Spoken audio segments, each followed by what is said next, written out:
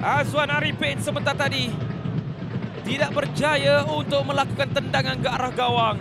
Kaki kirinya melencong tuan-tuan. Melencong laju. Mungkin terlalu kuat. Match 61. Match week ke-11 di antara Seri Pahang dan juga Darul Aman. Tendangan jarak jauh. Berterbangan. Ifwan Akmal nampar tendangan yang penuh berbisa ini daripada Sergio Aguero. Velocity, momentum yang laju. Dan uh, tendangan tersebut memang kalau tidak dibaca dengan baik sudah pasti gol.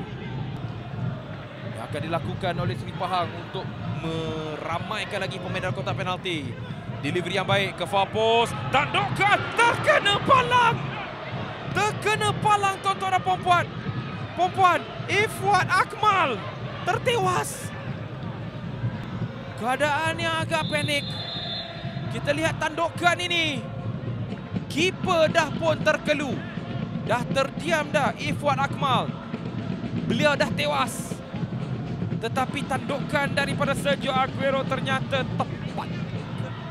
Adakah serangan terakhir, serangan yang akhir bakal mengambuahkan hasil?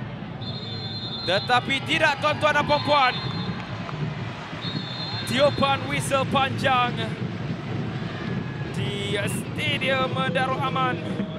Keputusan rasmi tuan-tuan dan puan-puan di Stadium Darul Aman Alostar. Kedah Darul Aman 2, Seri Pahang 2.